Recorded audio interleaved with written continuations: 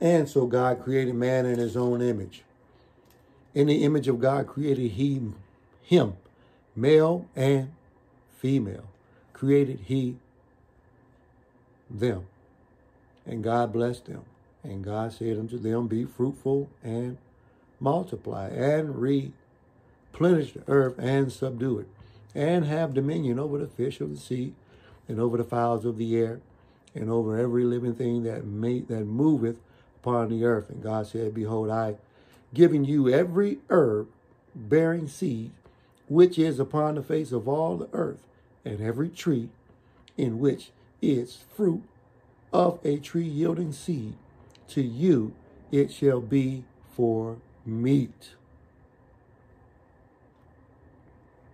And to every beast of the earth, and to every fowl of the air, and to everything that creepeth upon the earth, wherein there is life. I have given every green herb for meat.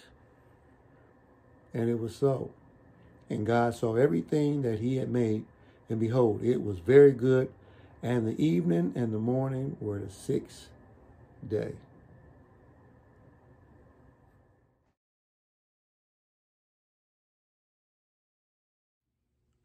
Redd Foxx moment. It was a guy driving a car late at night in a bad neighborhood and he got a flat tire. He had to take the tire off and, and get rid of it. And when he replaced the tire, he put the tire back on there and he couldn't figure out how he could get home because there was no way to, to have the lugs on the tire. He's scratching his head and he's sitting there and he see uh, he was sitting right across from the insane asylum and there was a nut looking through the fence. And he said, hey, buddy, why don't you do this?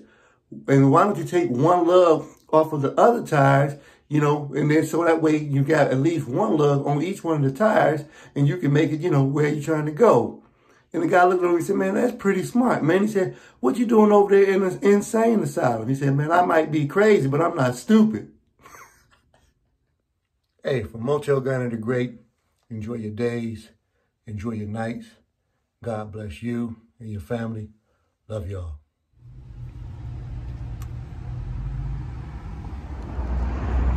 myself